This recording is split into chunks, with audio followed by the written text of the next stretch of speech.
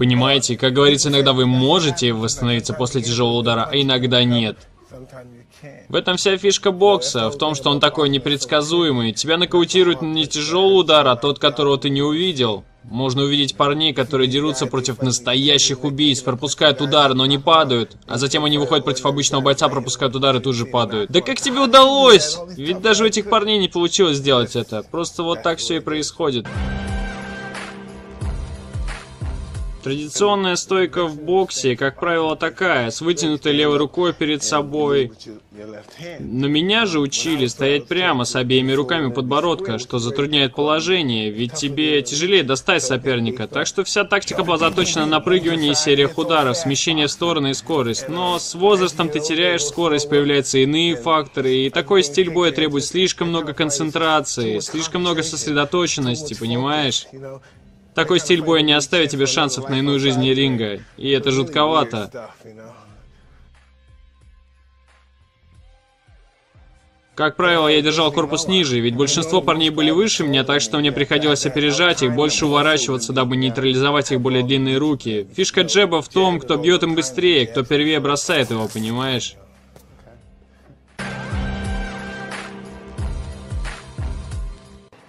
Когда я был совсем молодым, то в боях отлично пользовался своей защитой. Именно из-за этого я был непобедим, ведь я просто шел прямо на этих парней. Если бы у меня не было хорошей защиты, то рано или поздно поплатился бы за это.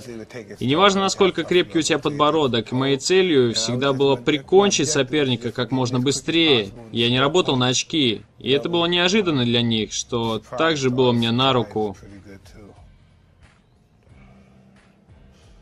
В этом весь смысл поединка. У каждого, конечно, свое мнение, но по моему личному опыту, не знаю, это типа искривленного зеркала. Дело не в том, кто ты, дело в том, кто ты по мнению твоего соперника, понимаешь? Я не монстр и не зверюга, но он-то думает, что и я именно такой. Врубаешь? Вот в чем фишка, это вроде актерского мастерства. Да, я очень нетрадиционный, потому что мой тренер учил меня, что обычный стиль боксирования типа такого, и это понятно, потому что так ты можешь достать рукой дальше. Но мой тренер учил меня драться вот так, во фронтальной стойке. Здесь все связано на скорости, координации и силе. Все решает доли секунды. Если ты проморгаешь и не успеешь, то схватишь удары. И с возрастом я стал пропускать много ударов, так как медлительность ведет к пропущенным ударам. Это стиль молодых, так что...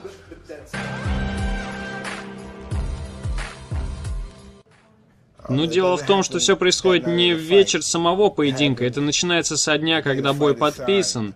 Или в тот день, когда ты начал мечтать о том, чтобы подраться с этим парнем, но в тот момент еще был вне рейтингов. Вот когда все начинается, это не просто потому, что мы имеем дело с человеческой натурой, эмоциями, чувствами, особенностями характера. Произойти может все что угодно. Вот почему мы, можно сказать, играем друг с другом, никогда не знаешь, что он выкинет. Парень, который был бомжом, вдруг оказывается на высоте, оставляя всех в дураках. А парень, который был настоящим убийцей, в один прекрасный день может сказать, сегодня я не хочу делать это этого. Так что никогда не знаешь, чего ожидать. Ты никогда не узнаешь, что у них на уме. Но это соревнование, это наша работа. И будь то слабые точки или дух соревновательности, неважно в какой момент от подписания на бой, мы должны найти что-то, то, что сломает их. Это будет значить, что мы лучше, чем он, что мы были выше его в этот день.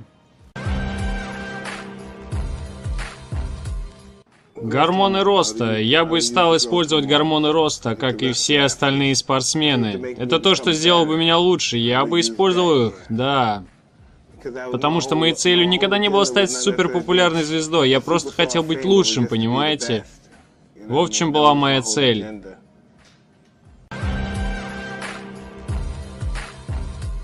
Они бы не смогли этим заняться. Почему же? Не знаю. Вот моему ребенку исполнилось 14, моему старшему сыну 14 лет, и то, чем он обладает в свои 14, этого же я добивался всю свою жизнь. Так что он не сможет быть таким, ведь у него уже есть все это. В свои 14 у него то, чего я добиваюсь всю жизнь, и до сих пор не добился. То есть ему не за что биться. Ну, типа того. Они к этому не предрасположены.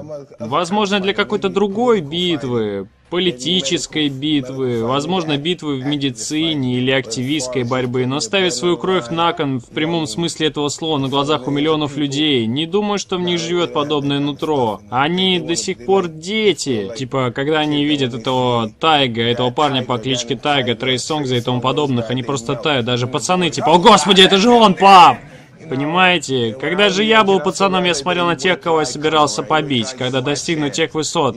И мне выпадет этот шанс, чтобы узнать, что такое настоящее величие. Они просто из другого теста, у них нет фантазии. Но я не могу винить их в этом, ведь мы родились в разных мирах.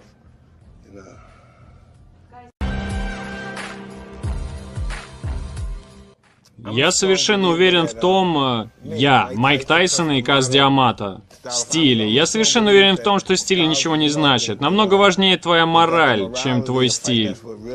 Насколько сильно ты хочешь этого, насколько сильно горит это твое желание достичь величия. И с этой точки зрения твой стиль совершенно не важен, потому что тебе нужно достичь той цели. Независимо от того, хорош ли твой стиль боксирования или стиль силовых ударов, задача в том, чтобы захватить этот триумф. Понимаете?